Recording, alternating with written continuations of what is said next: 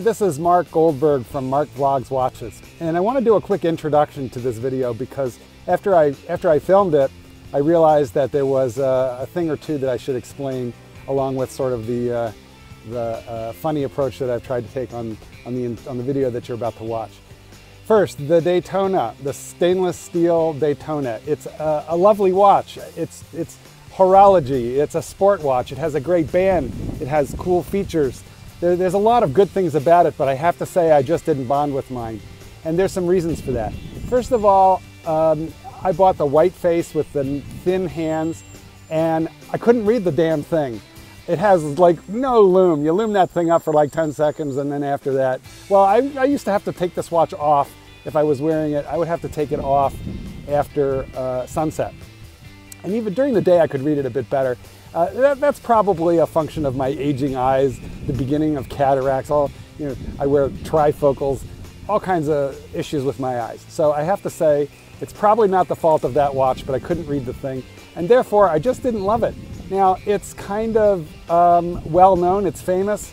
Uh, most people seem to love this watch. It's it's really an aspirational watch, but my motives in purchasing it were not pure, and I think I paid the price for that in the end. My motives were I was supposed to have one. I love Rolex. I love collecting Rolex, which is all true. So this was just the watch that I was supposed to have and that I was supposed to love.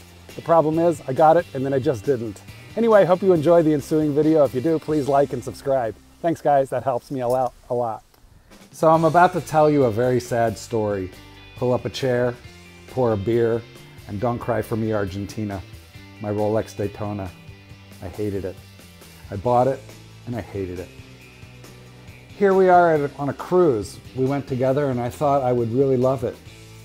Here I'm putting on a really brave face, but isn't there something ringing false about that smile? I actually had to drink a lot because when you look at the face of this watch, you just can't read the bloody thing. Its narrow little hands, its shiny white face, its shiny little dial. I couldn't read the bloody thing at night. Here we are on deck. We took the cruise together and Yet here I am looking at the ocean considering throwing her overboard. It was a Christmas cruise and I, I tried to be happy, but it's, but it's like you're in a bad marriage and it's Christmas. What do you do? You drink heavily, that's what you do. You take her to the bar and you flash her around. I bought it because I thought I was going to love it. I thought everybody would admire it. My partner, why am I coveting his cheaper two-line no-date sub pre-ceramic why is his $4,000 watch turning me on and mine? Well, I thought about giving it over to the dog. She, thought, she said she'd rather have a rawhide. We went together for rides in the Porsche. I thought, hey, you know, it's a Porsche. It should appreciate a Daytona. Let's go to LA. Everybody loves LA. Wait, no, this is Palm Springs. Close enough. Let's travel with this watch. Everybody's going to enjoy it. I didn't love it and consequently I developed an eating disorder. I couldn't read the bloody thing. I couldn't time an egg with the darn thing. Its little pushers just annoyed me. I thought it would fit in with the rest of the family, but no, not really. It just kind of didn't. Here it is in a random picture that I don't know why I put in this video, but you get a good look at this thing. Oh, and that useless tachometer bezel. Well, anyway, it's sort of like a nautical flying car timing watch, so I thought let's let's go for a trip together. Let's let's travel. Here we are somewhere in the air over Paris. And in a moment you're going to see, I took this watch to beautiful places. We, we oogled cars together. But you know what? I just couldn't bond with the thing and I had the hardest time reading the time with this particular watch. So I took it to church. There we are in a medieval church somewhere in Bayeux, France, in Normandy. With a beautiful canal that I considered throwing her right into course, that brought me right back to church because you don't throw a $10,000 watch in the canal. A guy living in an estate like this, he should be wearing a watch like this. Here's another random church shot, but is this not a beautiful watch? Honestly, it is. Why can't I love my own watch? I'm afraid that this might possibly be the answer. So finally I said, fuck it, and I sold that watch at a loss. And I bought this one. This is a watch that I can read. Look at the face on this watch.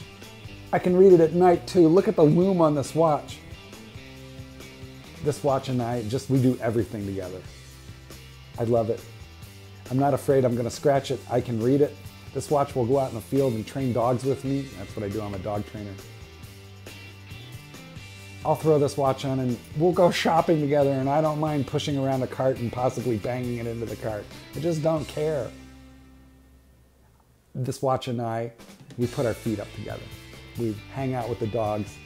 I love my new watch.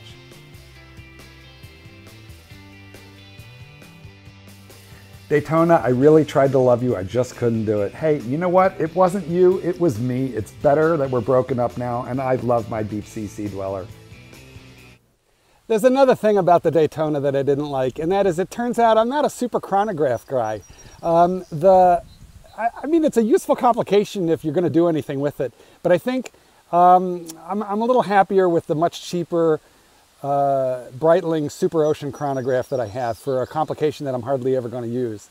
So it's a, from the horological perspective, to make a chronograph work, Rolex now with its in-house movement, which is not the most collectible movement they've ever had, uh, but still, you know what? It's a, I, I view the chronograph as a worthwhile complication, but it's just not my favorite. But one thing that I really discovered that I disliked about the Daytona, besides its small little chronograph dials that I found difficult to read, something that I really learned that I dislike is a tachometer bezel. That's the bezel with the distances and, and speeds, uh, you know, around the outside of it. It's freaking useless. No one is ever going to use that. Uh, the only thing worse is a slide rule bezel, which, uh, which I've seen on some pilot watches. Anyway, uh, yeah, a tachometer bezel, terrible. So uh, listen, I know I traded it in for a 7750 movement, the Valjoux, which is nowhere near as nicely regarded as that Rolex Daytona movement. Um, on the one hand, on the other hand, it has a, it's a dive watch with a chronograph feature. So that Breitling that I have, uh, it has a dive bezel, and I will show that here briefly. It's not even in the same class uh, as the, the Daytona on the one hand. On the other hand, it did tick off a chronograph box, and that's something that I, I kind of needed to do. So the Daytona, yeah, it just wasn't for me. To be clear, I used the money from the Daytona towards that blue deep sea sea dweller, but I also eventually acquired this Breitling Super Ocean chronograph, and I love its dive bezel.